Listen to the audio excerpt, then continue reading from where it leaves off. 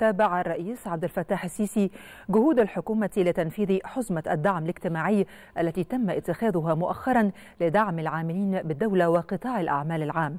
جاء ذلك خلال الاجتماع الذي عقده الرئيس السيسي للاطلاع على جهود الحكومة لضمان سرعة الانتهاء من المشروعات الجديدة التي يجرى تنفيذها في عدد من القطاعات.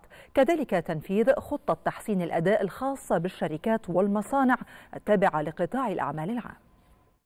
اجتمع السيد الرئيس عبد الفتاح السيسي مع الدكتور مصطفى مدبولي رئيس مجلس الوزراء والمهندس محمود عصمت وزير قطاع الأعمال العام.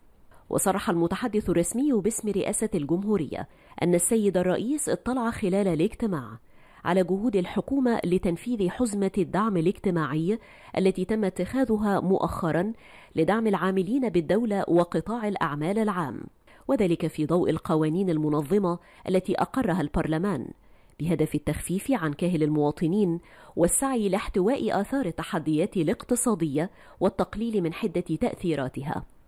كما اطلع السيد الرئيس على جهود الحكومة لضمان سرعة الانتهاء من المشروعات الجديدة التي يجري تنفيذها في عدد من القطاعات منها الدوائية والسياحية والغزل والنسيج والتشييد والصناعات الكيماوية والسيارات الكهربائية بما يسهم في تلبية احتياجات السوق المحلية ورفع معدلات التصدير في إطار توجه الدولة لدعم الصناعة الوطنية وزيادة الاعتماد على المنتج المحلي.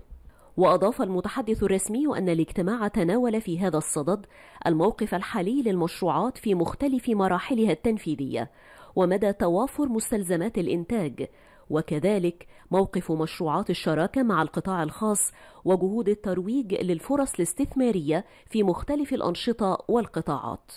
وقد وجه السيد الرئيس في هذا الصدد بالاستمرار في تنفيذ خطة تحسين الأداء الخاصة بالشركات والمصانع التابعة لقطاع الأعمال العام ومواصلة برامج التدريب ورفع كفاءة الموارد البشرية وتطوير السياسات التسويقية للشركات للنهوض بحجم المبيعات المحلية وتعزيز الصادرات إلى جانب التركيز على الشراكة مع القطاع الخاص بما يعزز جهود التقدم والتنمية في مصر.